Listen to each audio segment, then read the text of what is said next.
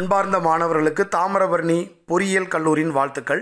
இன்றைக்கி இந்த காணொளியில் தெர்மோடைனமிக் சிஸ்டம்னா என்னென்னு புரிஞ்சுக்க போகிறோம் கடந்த காணொளிகளில் தெர்மோடைனமிக்ஸ்னால் என்னென்னு பார்த்தோம்.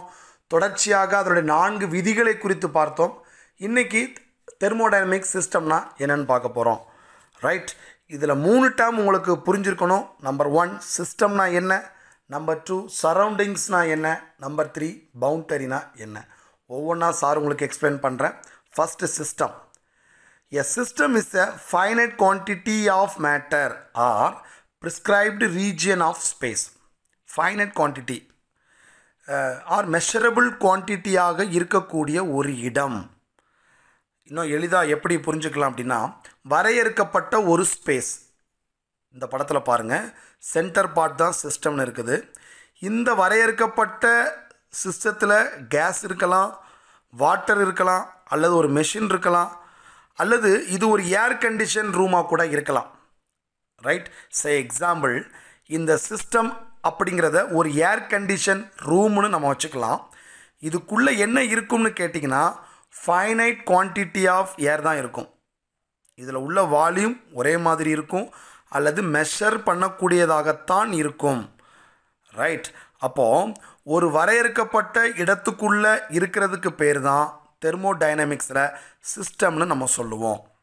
செகண்ட் ஒன் சரௌண்டிங்ஸ் இந்த வரையறுக்கப்பட்ட இடத்துக்கு வெளியே இருக்கிறதுக்கு பேர் தான் சரௌண்டிங்ஸ் அப்போது இந்த ரூமுக்கு வெளியில் இருக்கக்கூடிய ஸ்பேஸ் எல்லாத்துக்கும் என்ன பேர்னா சரௌண்டிங்ஸ் இப்போ இந்த ரூம் அதாவது இந்த சிஸ்டத்தில் இருந்து ரெண்டு ஃபேக்டர் உள்ளே போகலாம் அல்லது வெளியே வரலாம். நம்பர் ஒன் மாஸ் தமிழில் நிறைன்னு சொல்லுவோம். நம்பர் டூ எனர்ஜி ஆற்றல். இல்லையா? இந்த எனர்ஜியை heat energy or work energy நம்ம சொல்லலாம். அப்போ நம்ம என்ன முடிவுக்கு வரலாம் அப்படின்னா we are transferring the heat or work from the system to surroundings or surrounding to system சரி இப்போ நம்ம ரூம் ஏர் கண்டிஷன் வச்சுருக்கிறதுனால ஏர் கண்டிஷன் ரூம் வச்சுருக்கிறதுனால சரௌண்டிங்ஸுக்கு இந்த சிஸ்டத்துக்குள்ளே உள்ள ஹீட்டை வெளியே தள்ளி இந்த சிஸ்டத்தை கூலாக வச்சுருக்கோம்னு அர்த்தம். ரைட் மூணாவது பார்த்தீங்கன்னா பவுண்டரி பவுண்ட்ரி அப்படின்னா என்ன? கிரிக்கெட் நம்ம சொல்லுவோம் பவுண்டரி பயிற்சி அப்படின்னு சொல்லுவோம் இல்லையா? ஸோ இப்போ இந்த படத்தில் பாருங்கள் இந்த சிஸ்டத்தில் இருந்து சரௌண்டிங்ஸை பிரிக்கிறது எது? அப்படின்னா டாட் லைனில் போட்டிருக்கு இல்லையா?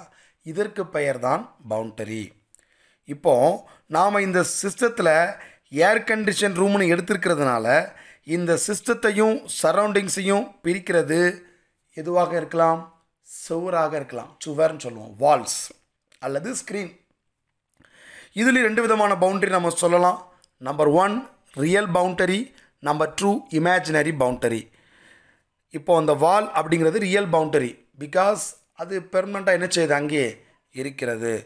அப்போ இமேஜினரி பவுண்ட்ரி அப்படின்னா என்னன்னு கேட்டிங்கன்னா நம்முடைய கேல்குலேஷனுக்காக நம்ம இமேஜினரி பவுண்ட்ரி என்ன செஞ்சுக்கலாம்? எடுத்துக்கலாம். அப்போது நாம் இந்த காணொளிகளில் புரிஞ்சிருக்க வேண்டிய விஷயம் தெர்மோடைனமிக்ஸில் சிஸ்டம்னு ஒன்று அவசியம் இருக்கணும். அதை சுற்றி சரௌண்டிங்ஸ் இருக்கும். இந்த சிஸ்டத்தையும் சரௌண்டிங்ஸையும் பிரிக்கிறது தான் பவுண்டரி அப்படின்னு நம்ம தெரிஞ்சிருக்குது.